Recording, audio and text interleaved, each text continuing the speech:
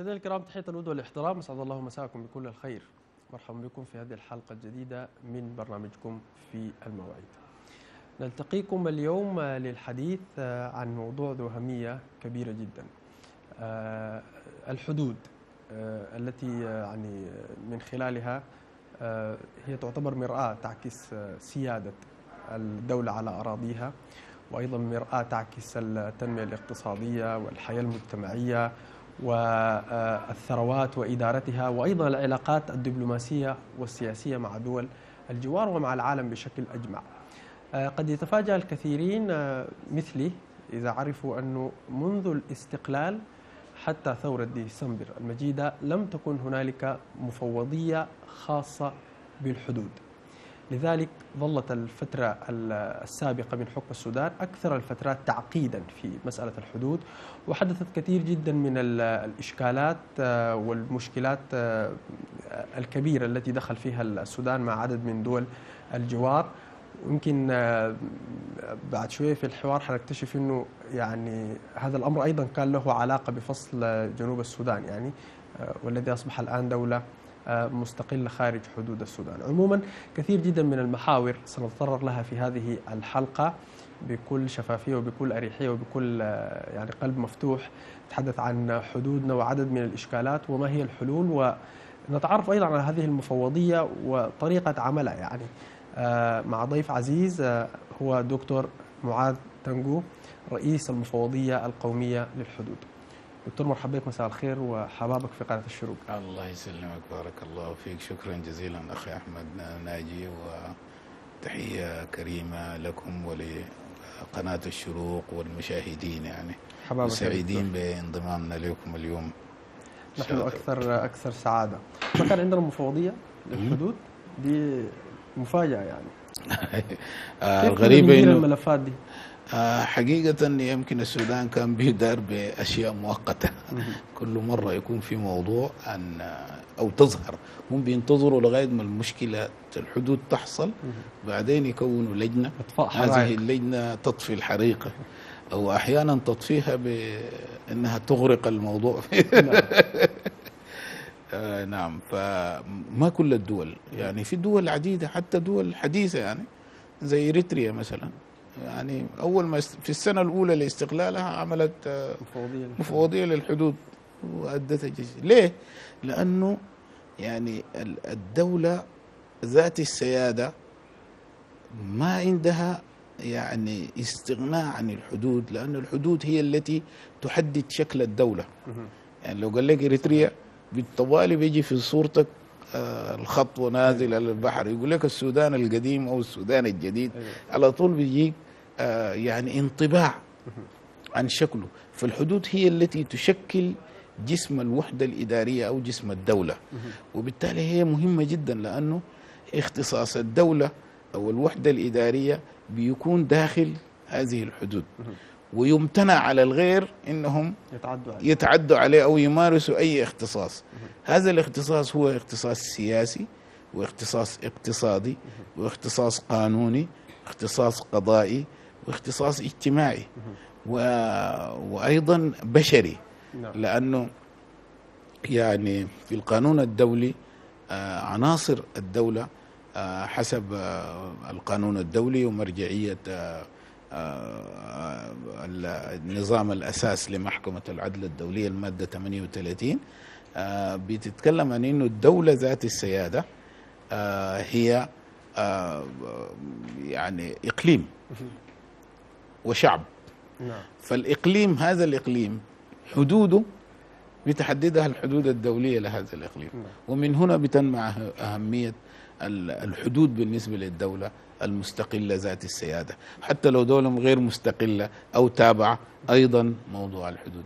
حتى الوحدات الإدارية الولايات أو المعتمديات أو غيرها حتى المربعات حتى المربعات تتحرك وغيرها. يعني في تكوين الخدمات وكده برضه مسألة الحدود مهمة فيها. هي مهمة جدا. صحيح. بالنسبة للمحاكم نعم. اختصاص دائرة المحكمة.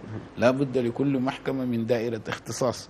يعني المحكمة الدستورية اختصاصها كل السودان. لكن كل المحاكم الثانية أو المحكمة العليا ممكن كل السودان. لكن باقي المحاكم كل محكمة عندها اختصاص.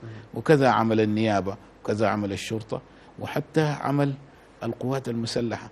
لأنه أيضا مقسمة إلى آه، دوائر. مم. دكتور ال- الشريط الحدودي لل- للسودان قد نتخيل إنه بعد انفصال الجنوب إنه أصبح صغير جدا يعني والسيطرة عليه سهله وكذا يعني مم. فهل ال- النظرية دي هل هي صحيحة ولا نحن عندنا شريط حدودي كبير؟ آه، بالعكس يمكن حدودنا زادت مع انفصال جنوب السودان لأنه أصبحت تعرجات أكثر يعني آه، وبالتالي حدودنا أصبحت في يعني أكثر من آه، 7000 آه، كيلومتر طولي مع الجنوب لوحده نحن عندنا آه، 2297 كيلومتر ده مع دولة طولي. ده مع دولة واحدة فقط. 5000 في الباقي. في الباقي يعني. بما فيها البحر الأحمر حوالي 850 مهم. آه، كيلومتر. وهكذا يعني. مع إثيوبيا عندنا 600 وشوية 640 كيلومتر. آه، وهكذا يعني مع عدد من الدول. آه، هو تقريبا هو نص- نصف قطر الأرض يعني من من حدود. المفوضية تم آه، إجازة قانونا في 2018 مم. متى تكونت؟ وخلينا برضو بإجازة نتحدث عن مهامها واختصاصاتها وصلاحياتها يعني. إلى أي مدى هي تتمتع بصلاحيات لأنه بالنسبة لكثير جدا مننا ال- الحدود مسألة بتاعت سيادة يعني. بنزعل كثير لما نقرأ في الأخبار إنه في تعدي على حدود السودان أو في تلفيق من بعض الدول. على جزء من حدود السودان كده. آه نعم. الحقيقة هي آه القانون قانون 2018 آخر 2018 آه المفوضية حتى الآن لم تكون بصورة أساسية. وإنما تم تعيين رئيس للمفوضية وأمين عام وبعض الموظفين. لكن حتى الآن نقاتل في إننا يعني نكمل ال- الهيكل الإداري المجاز بالنسبة لهذه المفوضية. نعم. أيضا إجازة الهيكل كان آه، فيه أخطاء. لأنه الهيكل المجاز تقريبا هو هيكل بنظرة إنها كأنها وزارة من الوزارات أو إدارة من أو وحدة من وحدات الحكومية. في حين أن موضوع الحدود عنده خصوصيات مختلفة. لأنه أصلا في الأساس لا يعتمد على عمل الخدمة المدنية الروتيني. نعم. وإنما ينصب جل عمله على خبرة الخبراء وعمل الميداني في هذا وعمل ميداني أكثر وبالتالي فإن شاء الله آه، مستمرون في هذا آه، وجاءت كورونا فعطلت أعمالنا المسائل. تماما يعني آه، لكن إن شاء الله بعد الكورونا هنالك بعض التعديلات هل في. أعمال أو يعني هل في أشياء أنجزت في الفترة السابقة دي؟ حقيقة أنجزت أشياء كثيرة جدا لأننا آه، في في المفوضية بحكم القانون المادة 29 تم استيعاب كل لجان الحدود العاملة في ال- السودان آه، في 2019 تم استيعابها داخل المفوضية وأصبحت جزء من عمل المفوضية نعم. وبالتالي واصلت المفوضية في عمل اجتماعات بنفس الخبراء بنفس تحت إشراف المفوضية بدل من أن تكون آه، يعني كان جهات عديدة منشئتها أصبحت هي جزء من المفوضية آه، أعددنا مواقف آه، مبدئية. مبدئية أو مواقف وطنية كثيرة جدا باشرنا التفاوض مع دولة جنوب السودان وحقيقة وصلنا لنهايات آه، متميزة في هذا شوية. حنجي لملف جنوب السودان وبرضه إثيوبيا ومصر وغيرها يعني من من الدول ال- الصديقة والشقيقة اللي عندنا معاه حدود وفي يعني برضه مواضيع مهم إنه نتطرق لها نعم. لكن خلينا نتكلم عن إنه المفوضية عادت أكثر من 33 آه، ألف كيلو بحري. كده نتكلم عن الحدود البحرية يعني هل كيف هي بتقاس كيف بتقسم آه، والأعدناها دي أين يعني كانت بتتبع لمنه سابقا يعني ولماذا أهمل هذا الأمر؟ آه، حقيقة الحدود البحرية من ال- هي من الإشكالات أو إشكالات القانون الدولي والاستعمار. فالدول ال- ال- الدول الساحلية دائما لديها حساسية من أنك تصحى فجأة وسفينة أمام صحيح. ميناءك وتدك. وتدك هذا الميناء لذا القانون الدولي وضع اعتبارات مختلفة لكيفية آه، عمل أو تحديد أو تعيين الحدود البحرية. لحماية الدول دي نفسها يعني. لحماية الدول الساحلية. آه، فبدأ القانون ما قبل الأمم المتحدة. نعم. طبعا لأن الدول الدول الاستعمارية كانت حقيقة تريد أن تستبيح أو هي كانت أصلا استباحت نعم. كل سواحل العالم من أجل استعمار آه، آه، المناطق وأخذ ثرواتها. نعم. لكن في بداية ال- القرن التاسع أو القرن العشرين بدأت تنبت بعض ال- ال- القوانين. من ضمنها يدخل منها آه، قانون ال- ال- ال- البحار. فأصبح قانون البحار يستوعب. طبعا قانون البحار من الآباء المؤسسين هو جروتيوس. هذا جروتيوس كان آه، هولندي. نعم. آه، وهولندا تبعت طريق القانون وأسست القانون الدولي آه، أو بداياته. لأنها تريد أن تحتمي بالقانون لأنها كانت دولة تجارية كبيرة. نعم. وفرنسا وبريطانيا جاراتها كانوا بأساطيلهم نعم. البحرية. لكن دي كانت عسكرية. وهولندا كان أساطيلها تجارية. فحماية لها لجأت إلى هذا القانون. هذا القانون لا يحسب مش زي القانون آه، يعني القانون الدولي في الحدود البرية إن الحدود خط وهمي لكن على الأقل هو بيفصل بين سيادتين. وسيادة واضح. الدولة تمتد إلى. منتصف الخط. نعم صحيح. اللي بيتم تعيينه بعدين عبر علامات. في الأرض بتلقى مثلا سودان إثيوبيا. أيوه. سودان جنوب السودان. آه سودان تشاد أو سودان ومصر. يعني نفس العلامة بيكون النص منتصفها نعم. في الدول أما الحدود البحرية لا.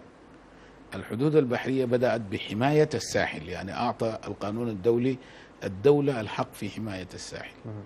آه فأصبح إنه يعني السواحل الدول تعد من الساحل واعطى الدول حق في أن يدخل ضمن أراضيها ثلاثة أميال بحرية. مهم. بحيث إنه يمنع للسفن ال- ال- الأجنبية الدخول في ثلاثة أميال بحرية قرب الساحل. ثلاثة أميال قبل الساحل. قبل قبل الساحل الوصول للساحل. قبل الوصول للساحل لأنه آه، كانت آه، يعني مدى ال- المدافع آه، في السفن. بيوصل لثلاثة أميال. نعم. لمن تطورت السفن لستة أميال تغير ال- ال- المبدأ وأصبح ستة أميال. لكن يقاس من الساحل أو يقاس حتى من الساحل بيقاس من أدنى الجزر.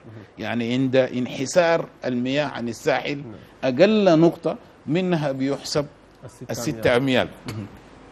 ثم تطور القانون بأنه أضاف للستة أميال ستة أميال أخرى نعم. كمنطقة متاخمة. لهذه المنطقة أيضا لا بد أن يعني يتم فيها الإذن بالنسبة لها. لكن ال- الستة أميال والستة أميال هذه حصريا تستخدم من قبل الدولة ومواطني الدولة ويمنع على السفن إلا المرور البريء وغيره.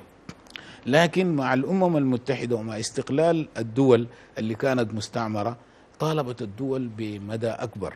حتى تحمي نفسها من أساطيل ال- الدول المتقدمة وأمريكا وغيرها. هذا الأمر بيشمل السفن الحربية فقط ولا حتى السفن التجارية تحتاج لأذونات ورسوم يعني لعبور المناطق دي يعني؟ آه ال- ال- السفن التجارية تمر بأذونات. لكن أصلا ليس هنالك آه أي مرور بريء للسفن والغواصات الأجنبية. لا بد أن العسكرية. تأخذ إذن. نعم. ال- العسكرية اللي ترفع علم الدولة وهي يعني سواء كانت عسكرية أو شرطية أو أمنية لا بد أن تأخذ إذن قبل مرورها بمدة بسيطه بيعتبر هجوم مباشرة هذا الأمر. وبيعتبر عمل أعدائي طوالي يعني ممكن يتعامل معه ب ب- طيب نحن ال فعل. 33 ألف كيلو دي يعني كا هل كان حاصل فيها شنو؟ يعني هل كانت تخضع لسيادة من ولا كانت بتعتبر مياه إقليمية؟ ولا نحن ما كنا موقعين في هذه الاتفاقية وهذا القانون يعني؟ أيوه نحن كان- السودان يعني عنده قانون معمول سنة 71 هو اسمه قانون الجرف القاري بيحدد حدود السودان على أساس إنها أدنى الجزر. فأدنى الجزر وبعدين ستة أميال ثم ستة أميال. نعم. فالسودان مكتفي بهذا هذا قانون 47 هذا القانون مبني على اتفاقية الأمم المتحدة للجرف القاري لسنة 1949 48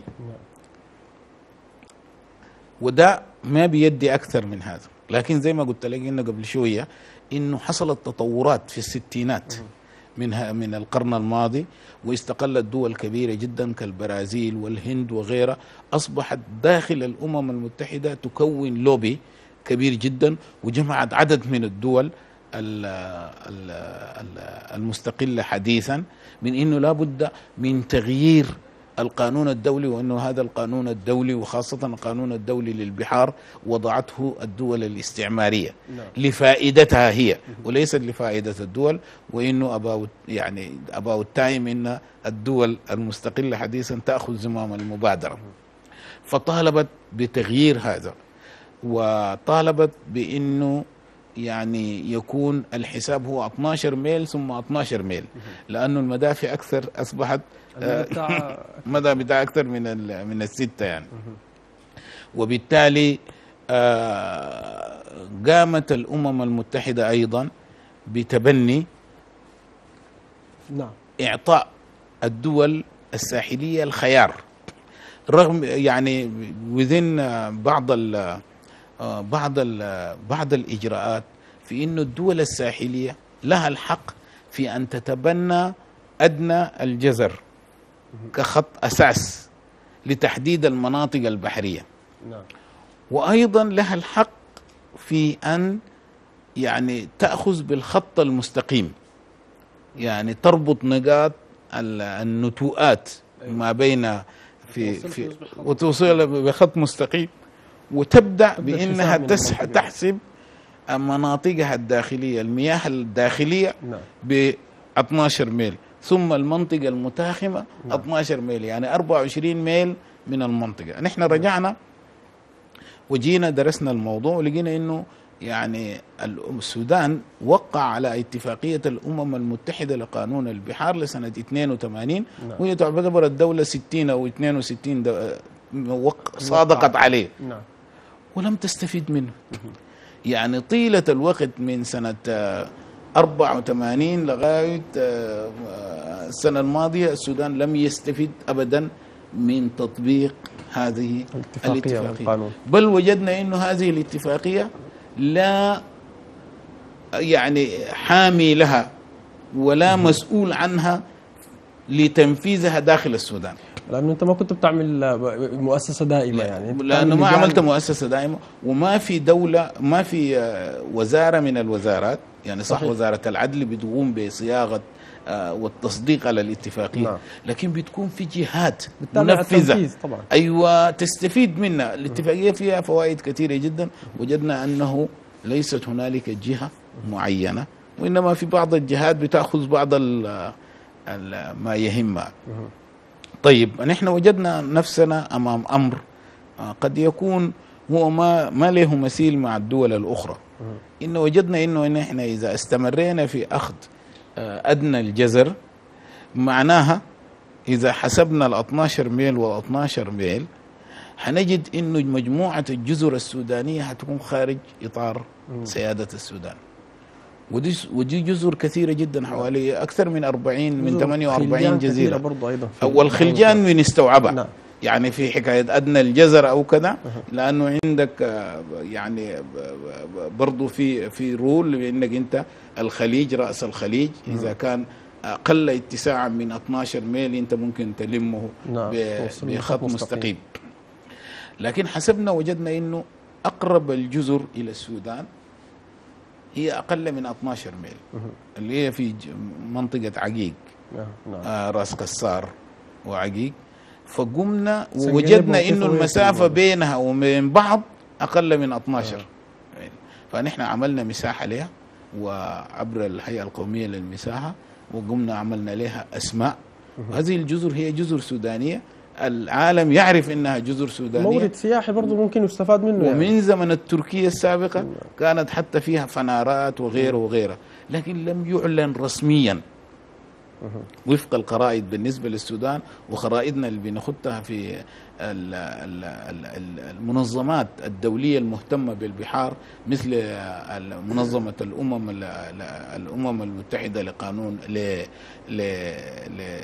للبحار ال IMO نعم. ال International Maritime Organization أو ال IH ال IHO ال hydrographic organization دي كلها خرائطنا كانت بتستثني هذه هذه الجزر فقمنا كمفوضية عملنا حساباتنا على أساس إنه نأخذ بالخط المستقيم من أجل أبعد نقطتين. بين بأبعد أو خط المستقيم يبدأ من أبعد جزيرة. نعم. ويستمر شمالا إلى حلايب وشلاتين آه، في أقصاها. وبالتالي يمر عبر الجزر. صح بعض الناس انتقدونا فيها لكن القانون الدولي هو بيعطيك الحق. فأنت تمارس به حقك. نعم. ولم يع... ولم تعترض أي دولة وبالتالي آه، أصبح هو حق بالنسبة للسودان. وأصبح الآن آه، هذه الجزر معروف إن هذه الجزر سودانية. سودانية. أصبحت بتدخل آه، يعني اودعناها لدى الأمم المتحدة مع خرائطها مع إحداثياتها. آه، فأصبحت السفن الآن ممكن أن تتجنب. كان عندنا حوادث كثيرة جدا في عمق التاريخ وحتى خلال سنة أو السنة الماضية آه، عنده ممكن هذه الجزر تستغل بواسطة بعض السفن نعم. وترسو فيها أكثر من شهر. نعم صحيح. وممكن تمارس فيها أي عمل نعم. آه، من ضمنها حتى الهجوم على السودان. نعم. ولا يستطيع أحد أن يتحدث ده غير أو إنه هي يعني أعتقد إنه هي زي جزيرة سنجنيب مثلا ممكن تعتبر مورد طبيعي يعني. مورد طبيعي آه، أيوه هي جزيرة مرجانية و- يعني الخط خط الأساس الآن بيمر من جزيرة سنجنيب بعد ما يجي من الجزر الأخرى بيجي ماري بسنجنيب. ويمشي. هذه أيضا المفوضية أصبحت هي الجهة المسؤولة عن تنفيذ قانون البحار آه، في السودان. نعم. وبالتالي استغلال هذه المنطقة هيكون من مسؤولية المفوضية نعم. سواء كان مباشرة أو عبر التنسيق مع أجهزة الدولة الأخرى. طيب يا دكتور الآن يعني مثلا آه، هذه الجزر اللي تم استعادتها آه، إلى من ستسلم يعني لمتابعة إدارتها والإشراف عليها وكذا يعني؟ آه، هي أصبحت الآن هي جزء لا يتجزأ من ولاية البحر الأحمر. يعني مسؤولية تظهر في الولاية. الخرائط ك- كجزء من من الولاية. نعم. آه، نحن كمفوضية مسؤوليتنا أن نضع العلامات على هذه على أقصى هذه الجزر نعم إن هنالك علامات ونسك أما باقي أجهزة الدولة فمن حقها إعمار هذه نعم. ال- الاسم بأشكال وخاصة مختلفة. ال- ال- الأجهزة الأمنية وغيرها لكن أيضا من الناحية السياحية من ناحية الاستغلال الاستفادة منها طبعا. الثروات آه، من ناحية الصيد نعم. آه، فأيضا يكون فيها لكن لابد منها. نهم في تعميرها طيب دكتور نمشي لمحور آه، آه، كبير يعني الحدود مع دولة جنوب السودان. شنو الاختراق اللي ممكن يكون حصل في الملف ده يعني؟ آه الاختراق الذي حصل حقيقة بالنسبة لنا يعني الحدود بين السودان وجنوب السودان كانت فيه إشكاليات كثيرة جدا. وتفاوض فيه السياسيون بغير علم. يعني بدون ما يكون عندهم معرفة تفاوضوا من منطلقات سياسية يعني ما منطلقات أحيانا من منطلقات سياسية أحيانا من منطلقات مسلمات. وهذه المسلمات غير صحيحة. صحيح. يعني بعض ال بعض ال ال ال ال المعلومات اللي موجودة ما كانت صحيحة. نعم. يعني بالنسبة لأشياء كثيرة جدا. من ضمن المسلمات اللي كانت موجودة آه وحتى من الستينات يعني آه بالنسبة لنا إنه والله آه آه الولايات أو المديريات الشمالية زحفت جنوبا منذ الاستقلال وده بالتالي أدى إلى إنه جزء من جنوب السودان يتم ضمه إلى الولايات الشمالية. وده كان يعني كذبة كبيرة جدا لا. لم نجد لها أي أساس. يعني نحن قمنا حقيقة بمراجعة آه، حدود السودان أو حدود زحفت بمعنى توسعت ولا انتقلت يعني؟ كان كان أصلا الكلام إنه آه، ولاية كردفان زحفت جنوبا. ولاية آه، آه، كردفان ذهبت جنوبا وشرقا. ولاية النيل الأزرق وسنار وزحفوا. جنوبا. اكتشفت انه الكلام ده غير صحيح تمام. اكتشفنا انه إنه الكلام ده هو العكس هو الذي حدث. يعني في كل هذه المدة إنه ولاية دارفور مثلا آه، دعاية كبيرة جدا إنه والله كافية كنجي وحفرة النحاس. دي أصلا تابعة لبحر الغزال ويستولى عليها عبود. اكتشفنا إنه الكلام ده كله ما صحيح. يعني الصحيح مخ- مغاير خالص للحقيقة وبالأدلة والبراهين والخرائط. يعني ما ما كان في شيء حتى. نعم. وللأسف الشديد إنه حتى ما بعد ال- الستينات أو في الستينات وما بعدها حتى ناس الخدمة المدنية اللي كانوا يتعاطوا مع الموضوع تعاطوا معه ب ب ب بعفوية. نعم. يعني اصبح فيها شيء من ال- السذاجة كده ال- المحور ده مهم لكن بيشيروا لي انه فنيا المفروض نطلع لفاصل يعني. خلينا نطلع آه. الفاصل ده ونعود آه، نواصل الحديث في ال- الحديث عن آه، حدودنا مع دولة جنوب السودان مع دكتور معاذ تنجو رئيس المفوضية القومية للحدود بعد قليل.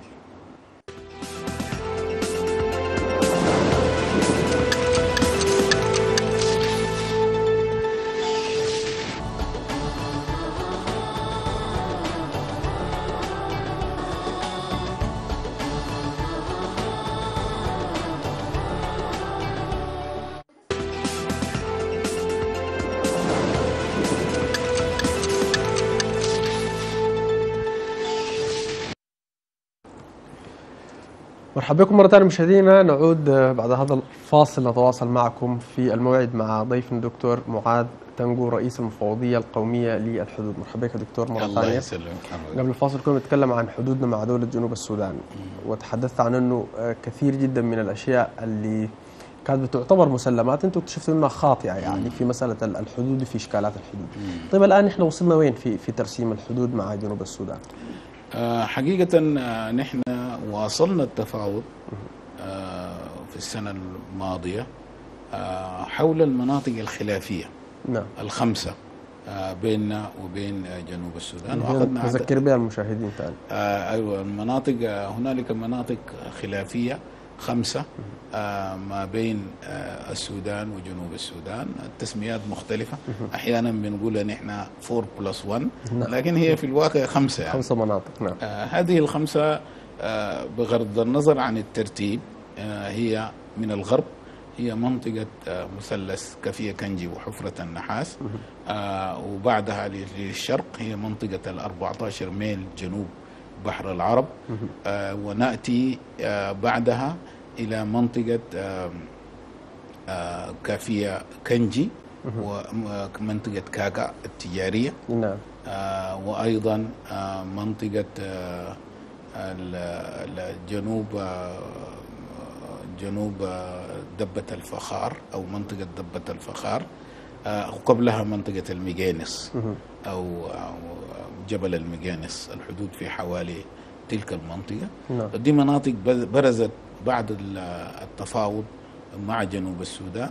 تم الادعاء. هذا الادعاء تقريبا آه، من أول يوم في التفاوض في 2007 بدأت تبرز هذه النقاط.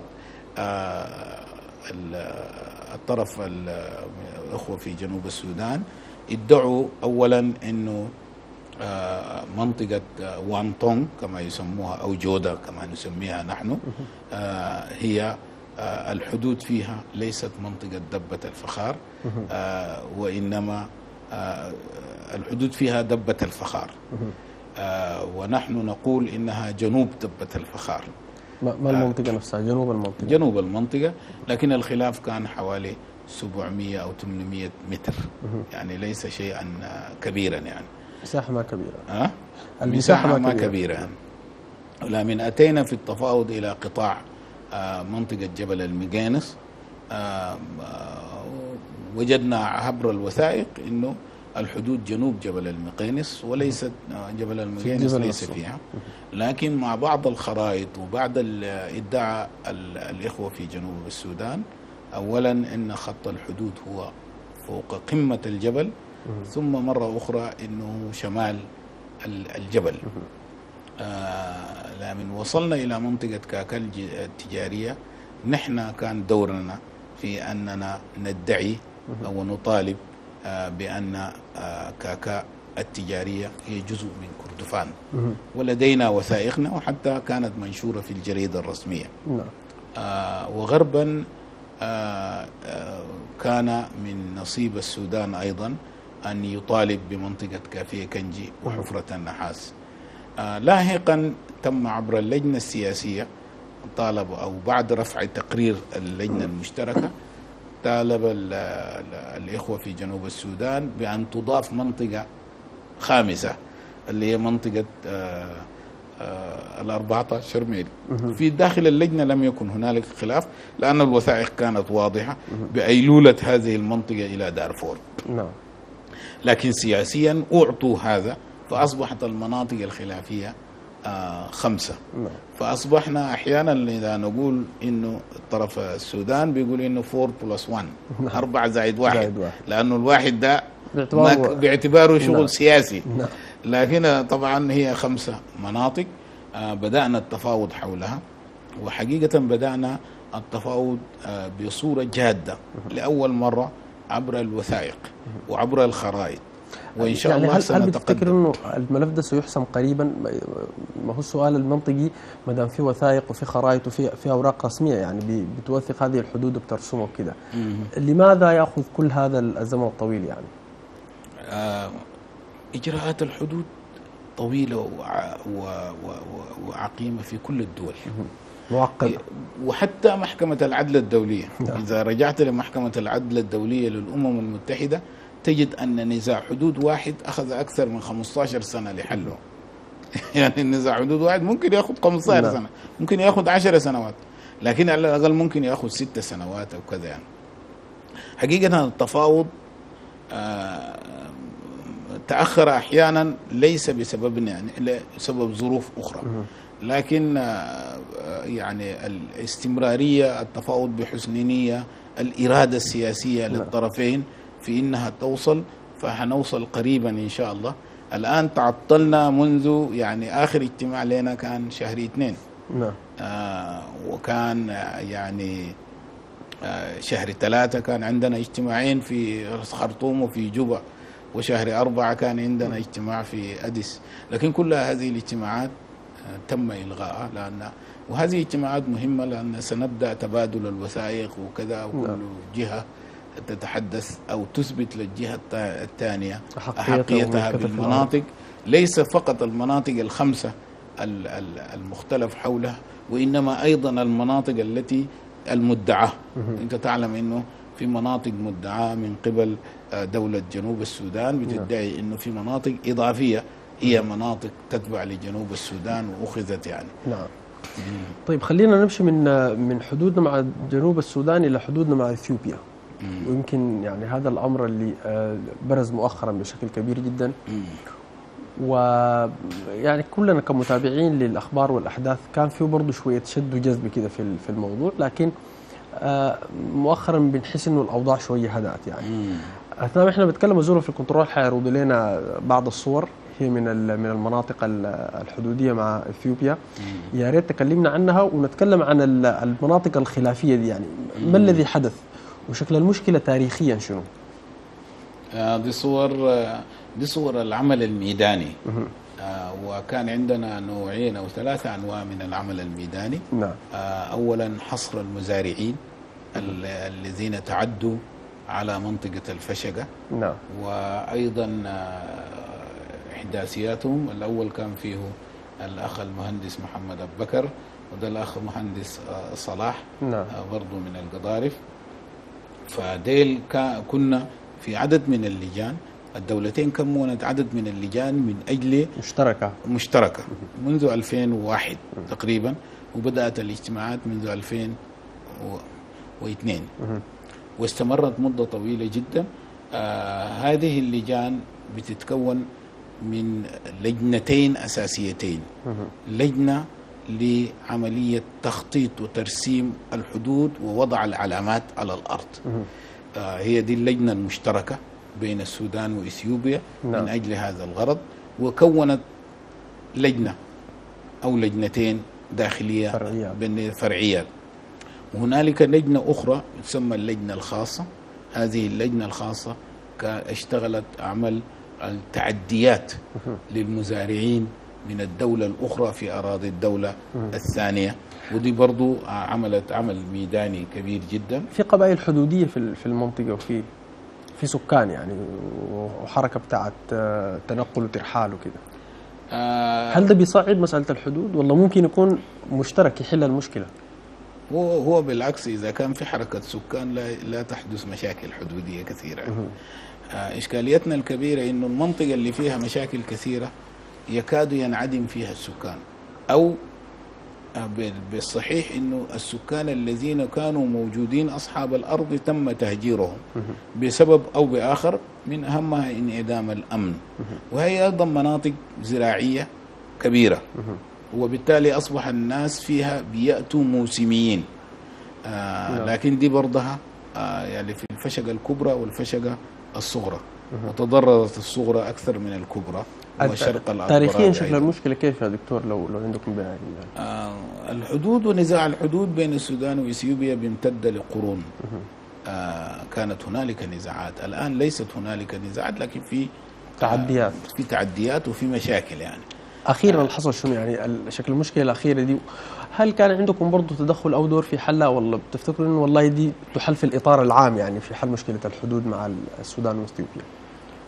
والله هو من يعني في كل الحالات هي بتحل في إطار ال- العام للعلاقات. المشاكل الحدود لا تحل بين أي دولتين أو أي ثلاثة دول إلا إذا كانت العلاقات حسنة.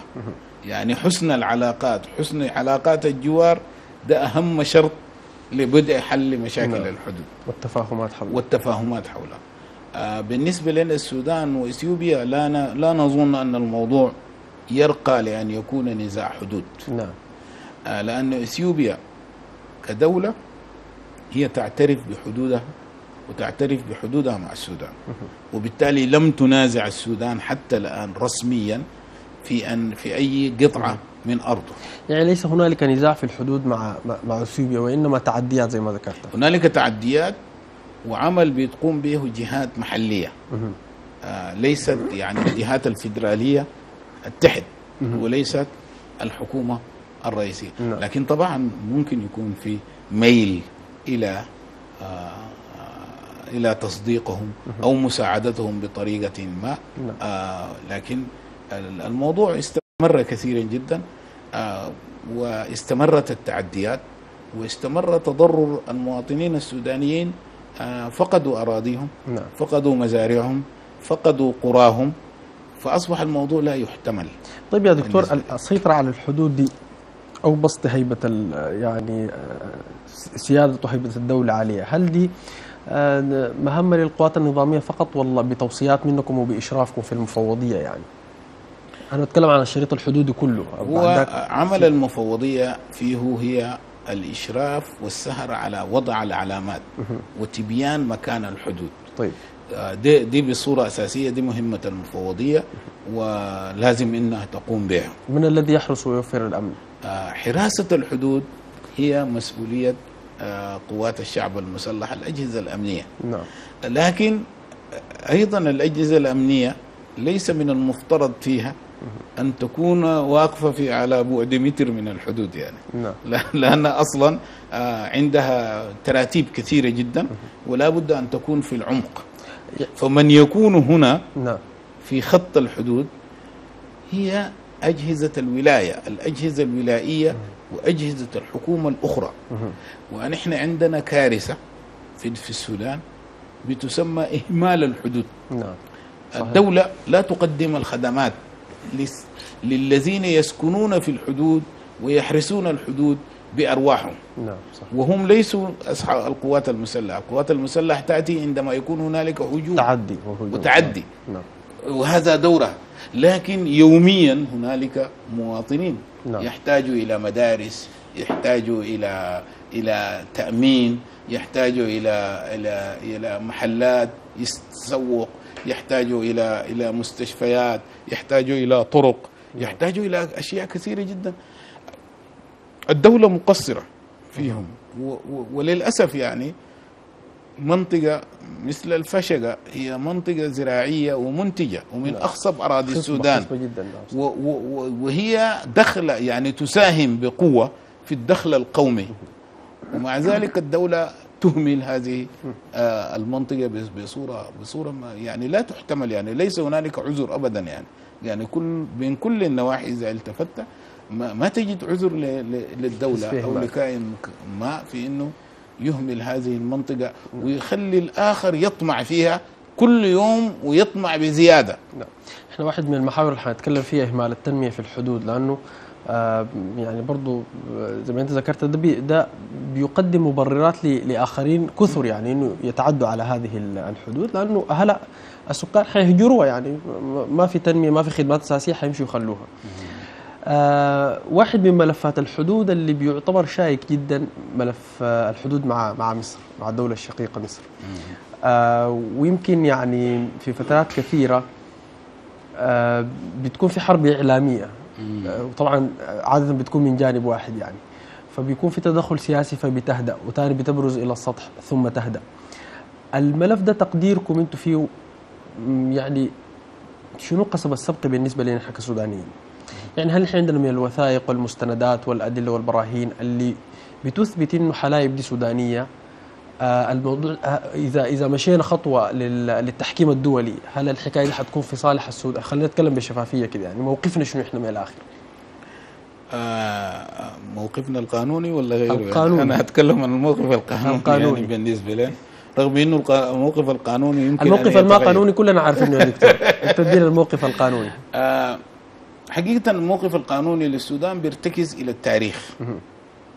والإدارة نعم والقانون الدولي كلها هذه كلها لا تعطي آه، مصر المثلث ابدا يعني.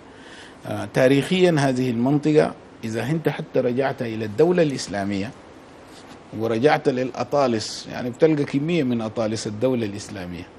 لا تجد هذه المنطقة ضمن ولاية مصر. نعم. حتى في العهد العثماني لن لم تدخل هذه المنطقة ضمن ولاية مصر. ولاية مصر.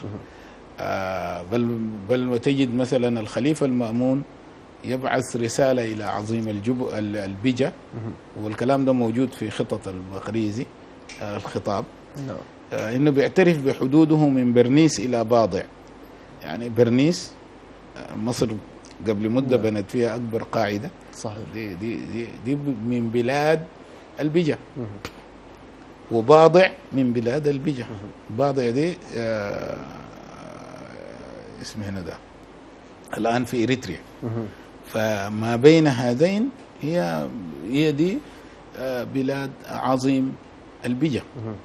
وعظيم النوبة بلاده من أسوان إلى من أسوان نفسها من أسوان نفسها. بل الحدود هي كانت شمال أسوان نعم في مراحل عديدة وعندنا من الوثائق ما يثبت ذلك يعني. حقيقة تعديل الحدود والإشكالية أتت عندما فكر وهي طبعا اتعملت بمؤامرة. آه مؤامرة قد لا يكون المصريين نفسهم طرف فيها. آه الأساس فيها هو اللورد كرومر اللورد كرومر لمن جاء وعين آه ك ك حاكم آه، مش حاكم بالمعنى الواضح وإنما آه، كمفوض مفوض. سامي. لبريطانيا بموجب اتفاقية 1885 بين بريطانيا والدولة العثمانية. نعم. آه، كان عنده مهمتين. أن أن ينقذ في الاتفاقية. أن ينقذ اقتصاد مصر. نعم. وأن يعيد إلى الدولة العثمانية ال ال ال الأقاليم التي تمردت. في جنوب مصر. نعم. على سلطة السلطان. اللي هذه الأقاليم هي شنو؟ بلاد النوبة والسنار ودارفور وكردفان. يعني السودان الذي تمرد.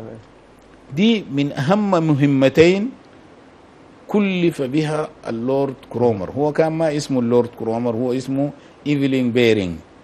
وكان هو المسؤول هو رجل مالي. نعم. وكان هو مندوب بريطانيا أو ممثل بريطانيا في شركة قناة السويس. تحديدا عمل شنو في في مسألة الحدود في الوقت طيب هو جاء عشان يدير وعشان ينصح الخديوي. وكان مشروطا إنه الخديوي لا يتخذ أي قرار. إذا لم يوافق. عليه هذا المس... ال- ال- المفوضين الاثنين. في مفوض تركي ومفوض بريطاني. نعم. لكن بشرط إن المفوض البريطاني يوافق على كله. ال ال الاسم. فكتب إلى اللورد سالسبري وزير الخارجية في بريطانيا يقول إنه في خطاب سنة 1892 1892 إنه يعني في في نفس السنة اللي قطعت فيها بريطانيا جزء من السودان صحيح. آه، جنوب السودان الاستوائية وسمتها يوغندا. نعم. آه، خاطب هنا على أساس إنه القناطر الخيرية اللي أنشأها محمد علي باشا لتحسين الري في مصر قال أصبحت لا تفي بحاجة السكان. ويحتاج إلى بناء سد. نعم. فقال آه، فبحثنا قال هو أوفد team بريطاني مهندسين جابوا طول مصر وعرضها لأنسب مكان لبناء سد. قال فلم يجدوا مكان في مصر لبناء سد. أقرب بالتالي مكان جنوب شوية كده. أقرب مكان لبناء سد يقع في بلاد النوبة. ده في خطابه ذاك الأقرب مكان يقع في بلاد النوب. بلاد النوبة وال- والوثيقة دي موجودة أنا أشرت لها في كتابي نزاع الحدود نعم. وفي بحثي بتاع الدكتوراه وموجودة في دار الوثائق البريطانية. خطاب. فأنسب مكان يقع في بلاد النوبة كويس؟ تقرير الهندسي نفسه قال إنه الخزان إذا بني بالمواصفات سيكون له بحيرة جنوبه. نعم. وهذه البحيرة ستمتد إلى كونتور 22 خط الكنتور 22 و- فبالتالي قرر اللورد كرومر إنه لابد في سنة يعني الكلام ده كان سنة 1893 سنة 94 بدأ يجهز لغزو السودان. من أجل ضمه. نعم. يعني أنت لو تتذكر الأيام دي كانت لسه أن إحنا في الدولة المهدية. نعم. ولو قرينا في تتذكر التاريخ. أيوه أها في التاريخ قرينا إنه والله يا عبد الرحمن النجومي ماشي يغزو مصر. نعم صحيح. ولا من مشى داير يغزو مصر هاجموه جوا السودان في توشكي نعم. أين توشكي الآن؟ صحيح. توشكي دي كانت في السودان. نعم. يعني عبد الرحمن النجومي لم يصل مصر. نعم. وإنما يعني حورب بال آه، طيب يا دكتور يعني نفهم إنه الموضوع ده تاريخيا هو يعني محسوم. طيب نحن الخطوات اللي اللي عملناها في الفترة السابقة أو اللي المفروض نعمله شنو؟ وليه ما قادرين نصل للتحكيم الدولي ده؟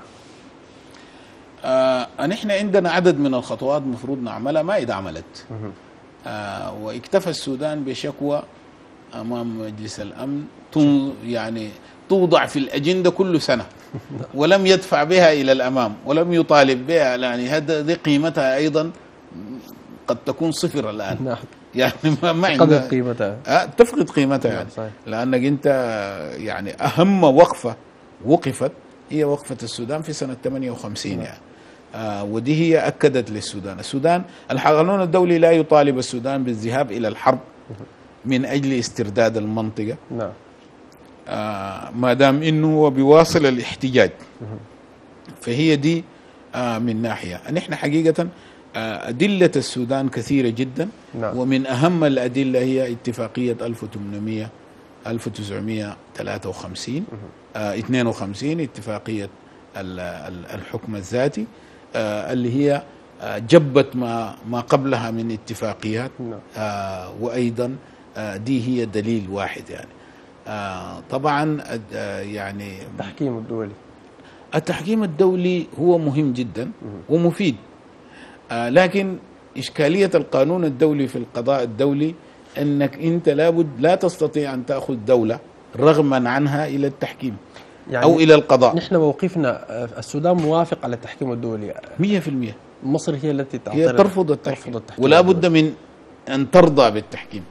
حتى أنا ممكن أن نأخذها فيها. طيب الآن مسألة آه، يعني برضه خلينا نتكلم شوية كده بشفافية يعني باعتبارك رئيس المفوضيه هل أنت مطمئن إلى أنه السودان يستطيع أن يستعيد حلايب؟ نعم. يستطيع دي مش بالورق.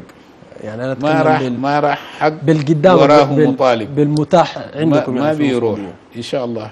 ستتم استعادة إن حلايب شاء الله.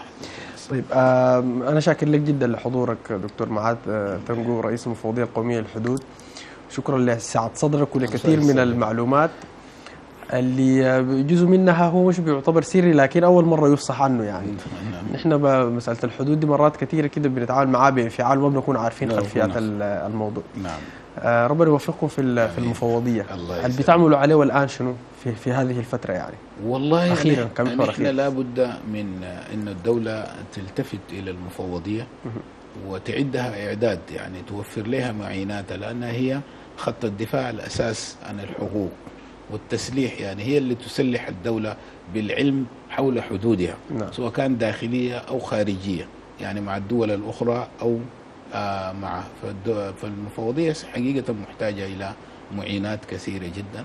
آه تضم عدد من العلماء بيقوموا بيسهروا حقيقة آه في ظروف لا لا يعلمها الكثيرون. نعم آه لكن كلهم تجمعهم يجمعهم الحرص على بيان وعلى تثبيت حق الوطن نعم. في حدوده على أرضه. مع الغير على عرضه آه يعني ما تعرف ان إحنا بندفن أنفسنا في في دار الوثائق القومية آه مع الغبار مع الأتربة مع مع غيرها يعني في ظروف صعبة جدا. حس حتى نستنبط معلومة. أو. معلومتين من أجل إنها تثبت آه موقفنا. ولكن إن شاء الله آه سنقوم بذلك ونسهر عليه. إن شاء الله. إن شاء الله. إلى أن تقوم المفوضية يعني تكتمل. بكامل هيكلة بكامل هيكلة شاكر. ومقدر جدا دكتور معاذ. تنقو رئيس المفوضية القومية للحدود. شكرا جزيلا لحضورك لكل ما أفدتنا به. شكرا أيضا لكل مشاهدينا الأكارم. رسالة أخيرة أتمنى إنه المناطق الحدودية فيها مواطنين آه، كثر جدا يعني. مسألة التنمية دي يعني دي قصة بنعاني منها نحن في العهد الفات. نتمنى إنه آه، حكومة الثورة تلتفت لهذا الأمر. التنمية دي لما تكون بشكل متوازن للسكان في هذه المناطق بالتأكيد حيتمسكوا بها. وزي ما ذكر الدكتور هم خط الدفاع الأول يعني في في الوقت ذاك. آه، وفي هذا الوقت نحيي خط الدفاع الأول. الجيش الأبيض. شكرا لكم. خليكم آه، في البيت خليكم معقمين. تمنيات الصحة والعافية للجميع. حتى نلتقيكم. تقبلوا تحية فريق العمل وإلى اللقاء.